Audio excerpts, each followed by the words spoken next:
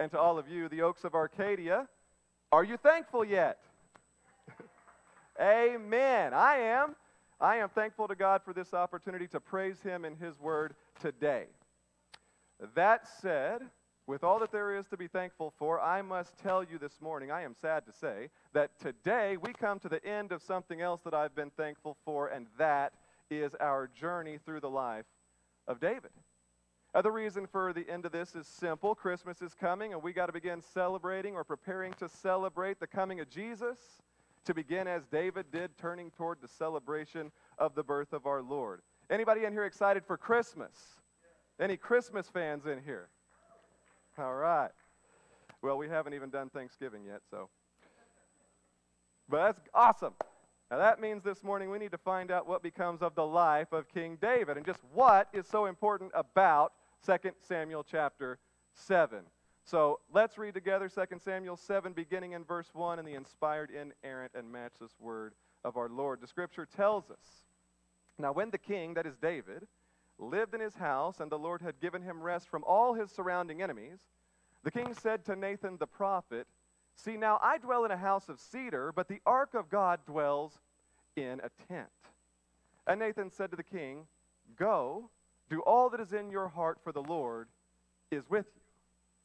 But that same night, the word of the Lord came to Nathan Go and tell my servant David, Thus says the Lord, Would you build me a house to dwell in? I've not lived in a house since the day I brought up the people of Israel from Egypt to this day, but I've been moving about in a tent for my dwelling. In all places where I have moved with all the people of Israel, did I speak a word with any of the judges of Israel, whom I commanded to shepherd my people, saying, Why have you not built me a house of cedar? Now, therefore, thus you shall say to my servant David, Thus says the Lord of hosts I took you from the pasture, from following the sheep, that you should be prince over my people Israel.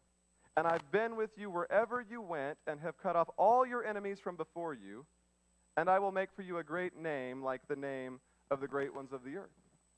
And I will appoint a place for my people Israel, and will plant them so that they may dwell in their own place and be disturbed no more and violent men shall afflict them no more as formerly from the time that I appointed judges over my people Israel. And I will give you rest from all your enemies. Moreover, the Lord declares to you that the Lord, David, will make you a house. The grass withers and the flower fades, but the word of the Lord will stand forever, and this is the word of the Lord. Amen. You can have a seat.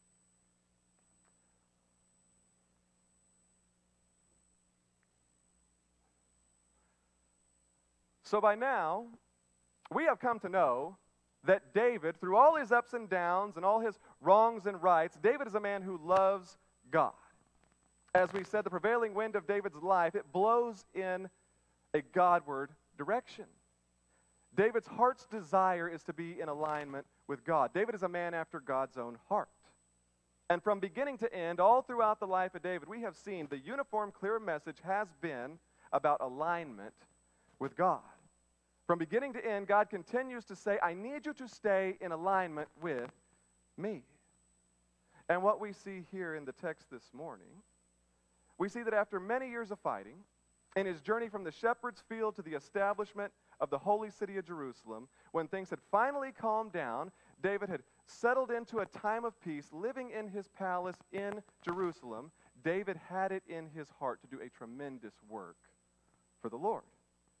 David had it in his heart to do a monumental, great thing for God. And despite David's desire and the thing he wanted to do being good, God said no. When we started this journey through the life of David, we began with the message don't grieve when God says go. Do you remember that? God's prophet Samuel, he was still hung up on King Saul. He was stuck grieving the dismissal of Saul, not knowing the good things that were coming. And God said, I need you to move on. I need you to move on from your grief. Stop grieving the place where I no longer am. I need you to move on from where I have moved on. And we said, Don't grieve when God says go. Well, here today, we see David has it in his heart to do something amazing for the Lord, something good, the scripture says, but despite it being David's heart's desire, it being for God and it being good, the Lord had a different plan. And we learn our final lesson from the life of David today. We learn to have gratitude when God says no. And this chapter, it holds tremendous significance in the overarching story of God's plan and its relationship to the unfolding story of, of all the Scripture as the Scripture all points to Christ. And we're going to see that. But it's interesting that we receive this chapter and the good news that God reveals to his people here in the midst of God's king desiring to do something incredibly important and special, specifically for God, and God says no. You ever experienced that? Where you had your heart set on something that you were certain was a good thing, a godly thing, a God honoring thing. Maybe even had the encouragement of other godly people, and at the end of it all, it just it didn't happen. It just wasn't meant to be. That maybe you invested yourself deeply in something. Maybe you've left something else entirely behind. You've trained, you've pursued, you've longed, you've prayed. You've asked God to make a way, but the answer, it just seems to be no. Maybe today you can look back at things you'd hoped for, you'd hoped to do, aspirations from a past season of life, and you ask, why? Why did God not bless these good desires that were in my heart, these things that I wanted to do for Him? But what do you do when you have something good in your heart to do and God says no? And we pick up this morning in David's life here in verse 1, where we read that this came about when the king lived in his house and the Lord had given him rest from all his surrounding enemies. Now we know, having followed David from the time that he was just a boy, that David came from next to nothing. His arrival at this moment, it hadn't come easy.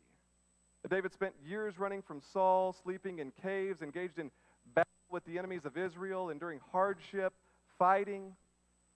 And so by the time we arrive here, with David in the palace, in a time of rest and in a time of peace, to hear this statement that David has arrived this is a statement of the Lord's blessing.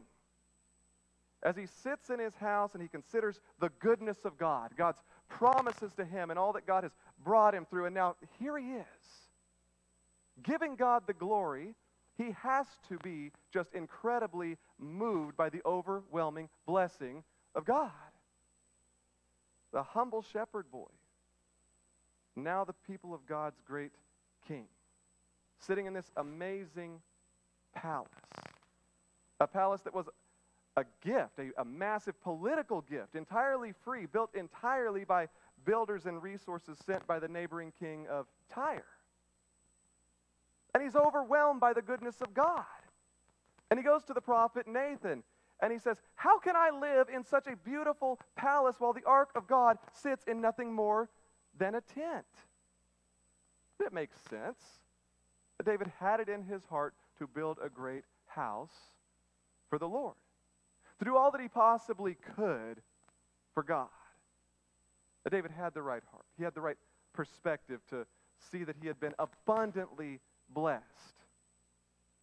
And I want to ask you as we approach Thanksgiving, and we gather all the family, we shovel in the turkey, we put on the football, and we drift off into our tryptophan coma. Have you stopped to remember the entire reason for the existence of this holiday to stop and recalibrate your heart. To have the right heart, the right perspective, to see that you, we are abundantly blessed. To give God the praise, to honor God with thanksgiving. After all that God's done for him, with all that he has for himself, David he cannot see not giving his absolute best for God. He has the ability to do this. He knows this is a right desire. He wants to do something great for the work and glory of God. And his line of thinking, comparing all that he has with the work of God that remains to be done in the world, it's good. And we actually see this same desire of the Old Testament people of God again, hundreds of years later when the Israelites, after they'd been displanted in the exile to Babylon, Their return to Jerusalem, they find God's temple in ruins. And the prophet Haggai, like David, he asks, Is it not wrong that you yourselves dwell in your paneled houses while the house of the Lord lies in ruins? Is it not wrong that when we look around and have the right gratitude to recognize that we are abundantly blessed by God? Simple question as, as you give thanks. Is it not wrong that we are then content to not give back our best to God? To not do all that we can to advance the work of God's kingdom in the world? As you give thanks this Thanksgiving, can your conscience live with the total sum of what you give to God in light of what God has already given to you? In light of all that you have and do for yourself. David saw all that he had and he said, I can't be content to receive all this and not do all I can to invest myself in what is important to God. And so David does the biblical thing. From here, he goes to seek godly counsel. He goes to the man that he knows God has given to him as a spiritual counselor, a man that he knows hears from God. And what better counselor could he seek out than God's prophet, Nathan? And so I ask, do you have a Nathan in your life? My suggestion to you, I would suggest that every one of us should have a few Nathans in our lives. Do you have any godly counsel? Do you have anyone to help you determine what the will of God is for you? And do you have ears to hear and the heart to listen, even when God says no?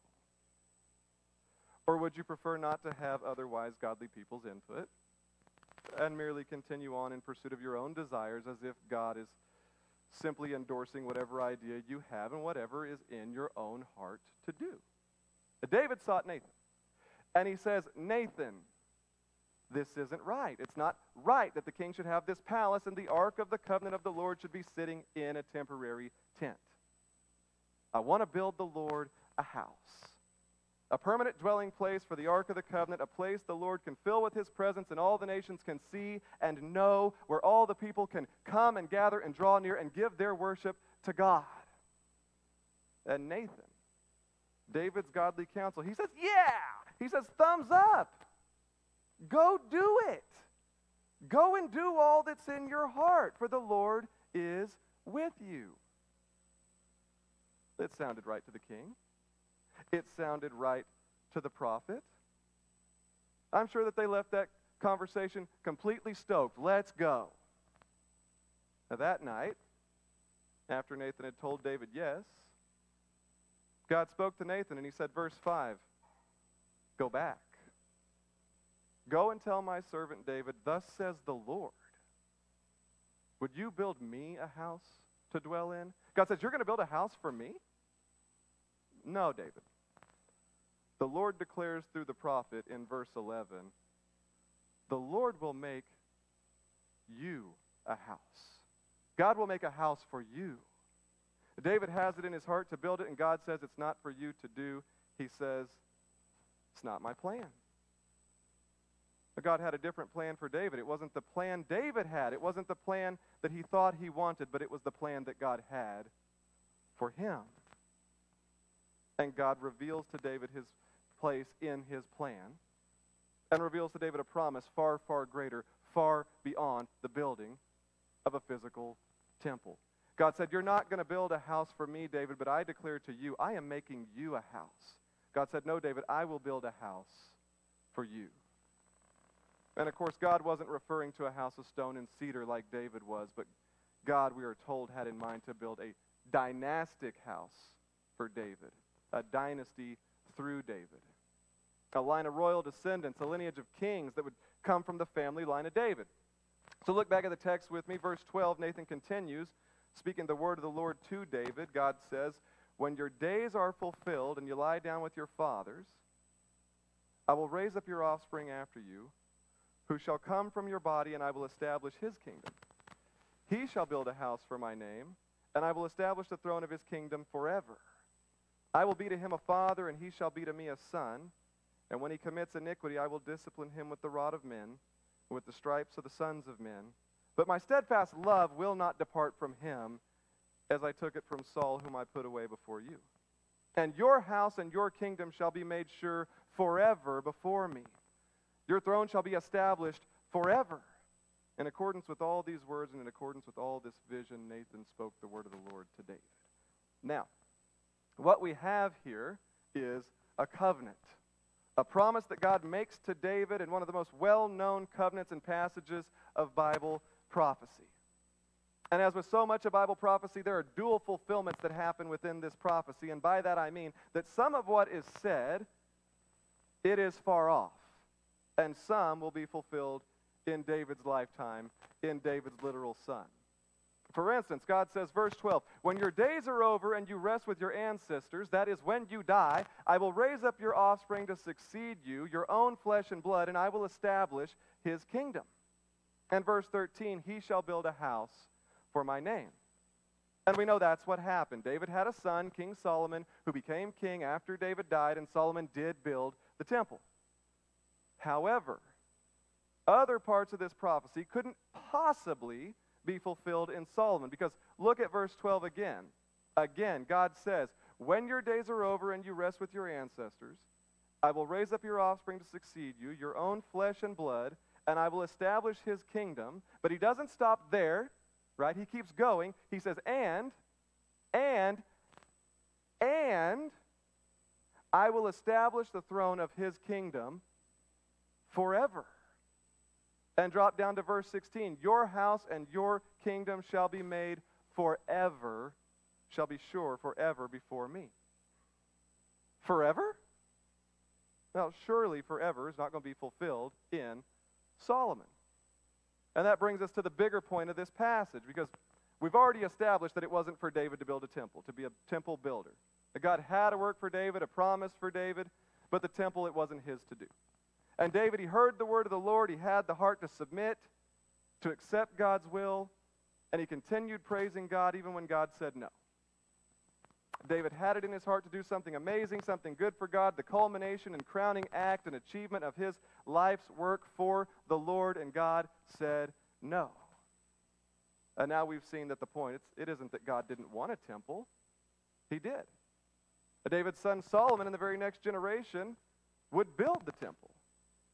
And though it would be torn down by the Babylonians and then rebuilt again, God's temple in Jerusalem, it became the meeting place of God with men, the central location of Old Testament worship, and the focal point of Israelite identity for a thousand years until the coming of Christ. David had desired a good thing. And God desired there be a temple. It's simply that David wouldn't be the one to build it. It wasn't David's lot. His lot instead was to clear the way by living into God's calling on his life, which was to be a man of war, to clear the enemies of Israel. And the building of the temple, it was going to be for someone else. And if we're real, we can imagine that that could have been incredibly disappointing. Further than that, David had to have asked, as one pastor said, All right, Lord, you've mapped out a path for me. It's not what I wanted. I'm ready to accept it, and I'll do the hard thing that you're calling me to do. But here's what I want to know What's going to happen when I'm gone? What will come of all my effort and all my work? What will last? Will anything that I do have any lasting value? And you remember, there'd only been one king before David. And everything Saul had lived for, it, it died with him. Saul's house was never established long term. There was just Saul, and then there was the end of the line of Saul. Saul's house was wiped out, and David wants to know Am I going to be another Saul, or will all that I have worked for continue beyond my lifetime? And that surely is a great question for all of us. What will come of your life? What will remain after you are gone? Will it be that everything you've lived and worked for just sort of just dies with you? After all the effort that we extend, will anything that we do be of lasting value, or will our life's work be like sand castles that are just washed away as soon as the tide comes in? Well, God has the most marvelous answer to this most fundamental question. He says, verse 12, David When your days are fulfilled and you lie down with your fathers, I will raise up your offspring after you, who shall come from your body, and I will establish his kingdom. He shall build a house for my name. Do you see what God's saying to David? David, you need to know this when you're pressing on in the hard work I'm calling you to do. Your work for me, it will not be in vain. And I want to say to every Christian here today that when you serve the Lord, your labor in the Lord, it will not be in vain. The Apostle Paul says, If in Christ we have hope in this life only, we are of all people most to be pitied. If all that you work for and all that you do ends when you die, you would be in the most miserable position. But God says to David, that's not how it will be for you. And God says to us in Jesus Christ, that is not how it will be for you and me. What you do will have lasting value. This is an amazing covenant. Because in these verses, God has made clear to David, there is a promise that I'm making to you, and it's a promise that is ours in Jesus Christ. That God says, the commitment that I'm making to you, death cannot break it, and sin cannot cancel it. It's wonderful, all because of this one little word here forever. Uh, this is why we know that this promise isn't just David's, but this promise is ours in Jesus Christ. This is not merely about what God has to say to David, but the reason that we care, the reason we're reading it today, the reason we can celebrate this and give thanks for this is because of what it means for us in Jesus. God says, I will bring forth from you a son. And, verse 13, God says, I will establish the throne of his kingdom forever. Now, clearly, we know Solomon didn't live forever. So it couldn't have meant that this was for Solomon, and this was fulfilled in Solomon. And again, here it comes again in verse 16 Your house and your kingdom shall be made sure forever, your throne shall be established forever. So, what does this prophetic covenant promise mean? As one pastor explains, it could mean one of two things. Number one, it could mean that at any given time in history, there would always be a descendant of David sitting on the throne. And that cannot be the meaning for this simple reason that it did not happen. The last descendant of David to reign in Jerusalem was Zedekiah, and that reign ended in the year 586 before the birth of Christ. The line of David's descendants, of course, continued, but no one from that line sat on the throne in Jerusalem from that day, 586 BC, to today. So this promise cannot mean that at every point in history, forever, there would always be a descendant of David on the physical throne. That hasn't been true since the year 586 before the birth of our Lord. So, we go to the second meaning that these words could bear, and it is this. The promise could mean that there will be one person in the line of David whose reign will be forever. And that's why when the New Testament opens up and when we're taking these texts up at Christmas, we see in the Gospel of Matthew that it opens by introducing us to Jesus as being born in the lineage of David. The first line of the Ma- of Go- uh, Gospel of Matthew, it reads, The book of the genealogy of Jesus Christ, the son of David. And in Luke, the angel comes to Mary and announces to pregnant Virgin Mary, Behold, you will conceive in your womb and bear a son. You shall call his name Jesus, and he will be great and will be called the Son of the Most High, and the Lord will give him the throne of his father, David.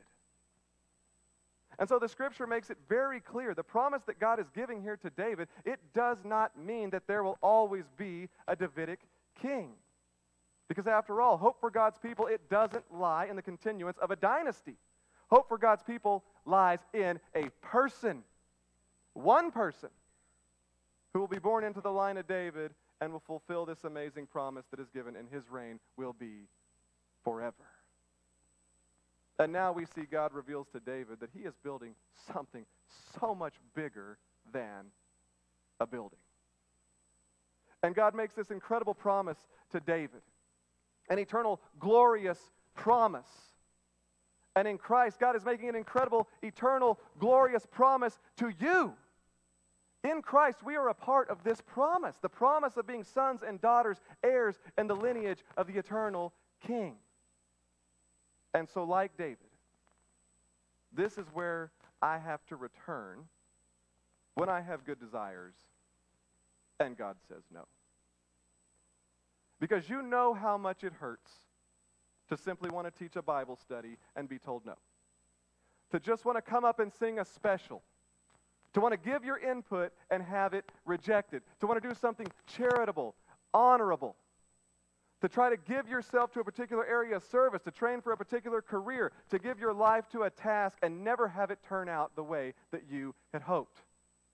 To have it in your heart to find a spouse and to make a godly home, to have a child, to dedicate them and raise them for the Lord.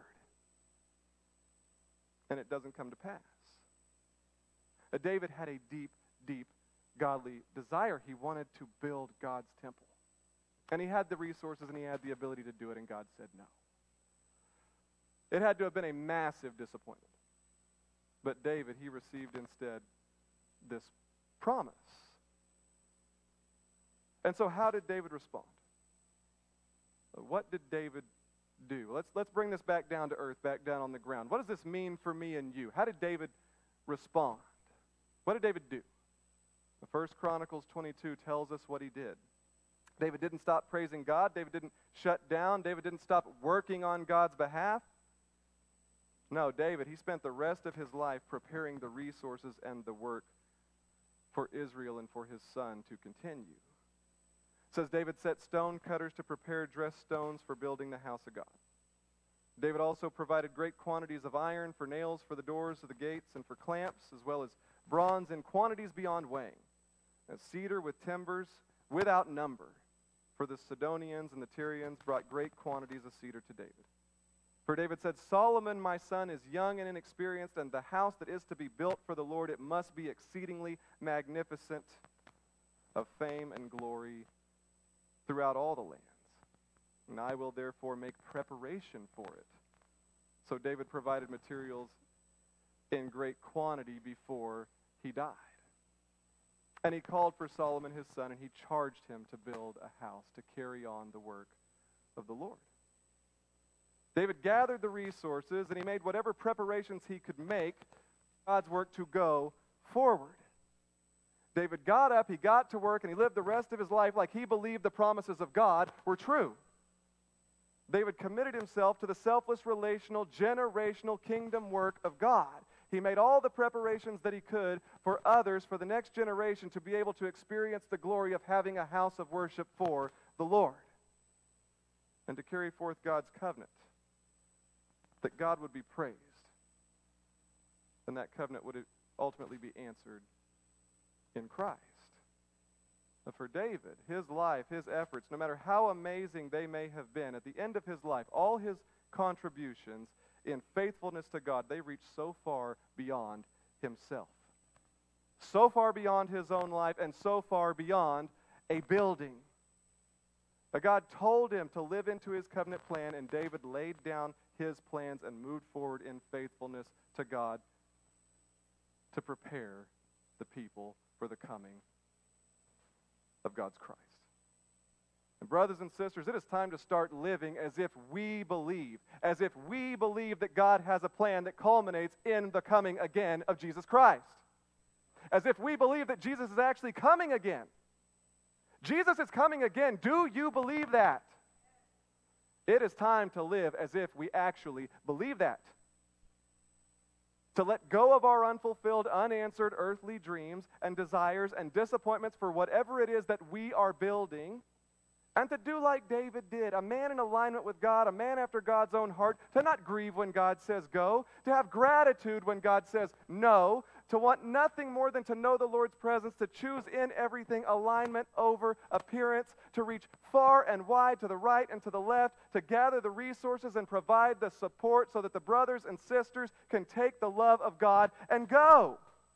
And to know that our greatest calling, our greatest blessing is to be invited, included in the generational, eternal, glorious lineage of saints, blessed to be loved by the Father, called sons and daughters of God, and so we are. And for that, we have so much for which to be thankful.